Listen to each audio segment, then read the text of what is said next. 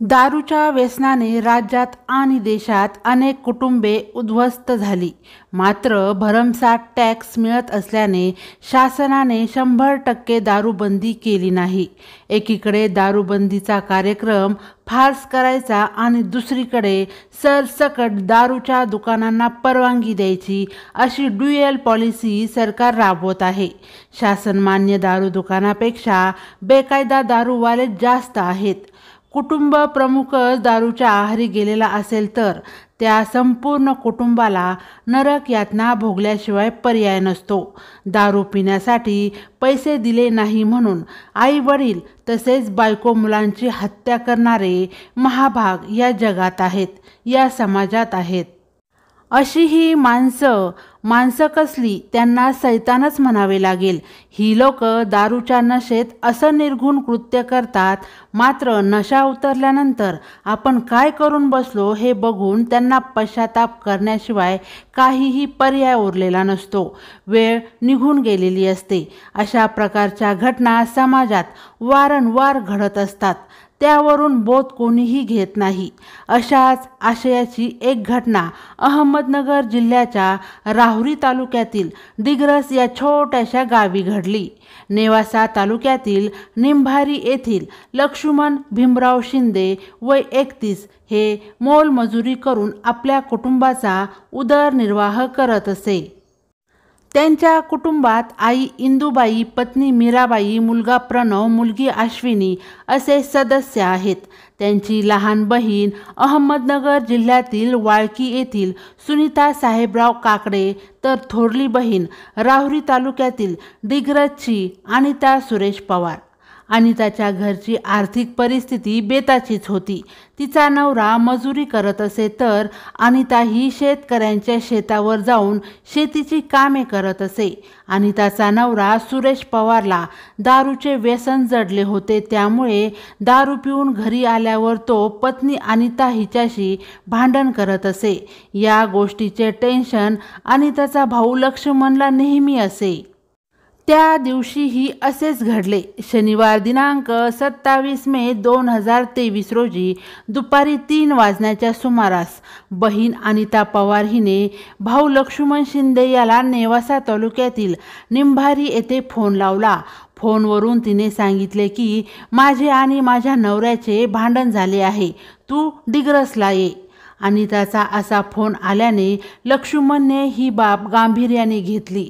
त्याच दिवशी संध्याकाळी चार वाजता लक्ष्मण हा अनिता राहत असलेल्या दिग्रस येथील कोथरामाळ येथे पोहोचला असता त्याचा दाजी सुरेश पवार याने लक्ष्मणसमोर अनिताला हाताने मारहाण करण्यास सुरुवात केली.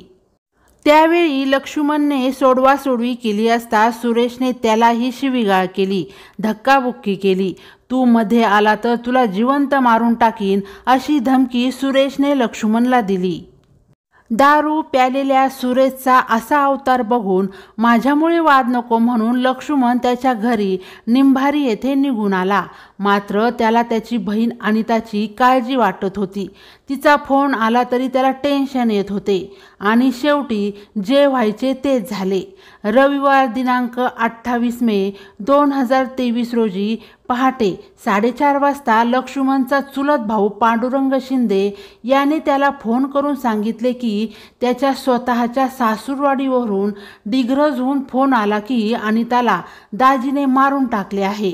पांडुरंगने असे सांगितल्याने लक्ष्मणला धक्का बसला होता. तात्काळ डिग्रसला जाणे गरजेचे असल्याने लक्ष्मण व त्याचे काही नातेवाईक तिकडे जाण्यास निघाले. ते सर्वजण राहुरी येथे आले असता त्यांना कळले की अनिताला ग्रामीण रुग्णालयात आणले आहे. लक्ष्मणसह सर्व नातेवाईक ग्रामीण रुग्णालयात गेले. तेथे जाऊन पाहिले असता अनिताच्या डोक्याला जबर मार लागलेला दिसला. ती मयत झाली होती. त्याचवेळी दाजी सुरेशचा भाऊ चंदू भानुदास पवार याने लक्ष्मणला सांगितले की रात्री अडीच वाजण्याच्या सुमारास दोघा नवरा बायकोंचे भांडण चालू होते. त्यावेळी भांडणाचा आवाज आल्याने आम्ही उठलो. सुरेशच्या घरात जाऊन पाहिले असता अनिता खाली पडलेली होती. तिच्या डोक्यातून रक्त वाहत होते. म्हणून चंदू पवारने सुरेशला विचारले काय झाले? तेव्हा त्याने सांगितले की मी अनिताच्या डोक्यात मारल्याने ती खाली पडली आहे. मी आजूबाजूला पाहिले असता तेथे लोखंडी गज पडलेला दिसला आणि त्याला दवाखान्यात घेऊन जाण्याचा प्रयत्न केला असता ती मयत झाली होती. चुलत मेहुणा चंदू पवारने सांगितलेली हकीकत ऐकून चित्र स्पष्ट झाले होते.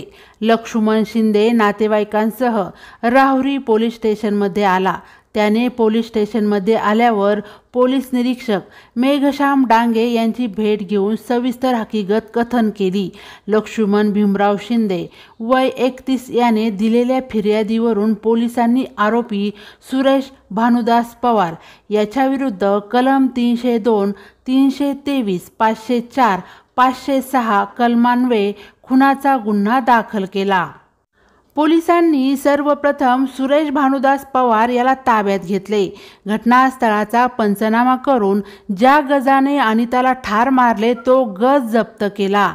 मृतदेहाचा पंचनामा करून मृतदेह विच्छेदनासाठी रावरी ग्रामीण रुग्णालयात पाठवला. तेथील डॉक्टरांनी अनिताचा मृत्यू टणक वस्तू डोक्यात लागल्याने रक्तस्राव होऊन झाल्याचे सांगितले. आरोपी सुरेश भानुदास पवार याला राहुरी न्यायालयासमोर हजर केले असता पोलीस कोठडीत ठोठावण्यात आली. पोलीस कोठडीत केलेल्या चौकशीत सुरेश पवारने गुन्ह्याची कबुली दिली. या घटनेत बापाने आईचा खून केला आणि तो जेलमध्ये जाऊन बसला. मात्र त्याचा लहान मुलगा कार्तिक वय सहा व मुलगी प्रियंका वय दहा यांचे काय? हा प्रश्न अनुउत्तरितच आहे. नवऱ्याला वारंवार सांगूनही तो काही कामधंदा न करता सारखा दारू पिऊन घरी येत असे. घरी आल्यावर बायकोला बेदम मारहाण करत असे. नवरा बायकोच्या दररोजच्या भांडणाला जवळपासचे लोक वैतागले होते. रोजचेच मढे त्याला कोण रडे या न्यायाने सर्वांनी दुर्लक्ष केले होते. तिचा त्रास वाढत गेला. त्याला घर बंदच राहिला नव्हता. एकदा त्याने तिला इतके बेदम मारले की त्यात तिचा जीवच गेला. या घटनेबद्दलची तुमची प्रतिक्रिया कमेंट करून नक्की कळवा आणि अशाच प्रकारे सत्य घटना ऐकण्यासाठी या चॅनलला पुन्हा भेट द्या. चला तर मग पुन्हा भेटूया अशाच एका सत्य घटनेसहित तोपर्यंत धन्यवाद.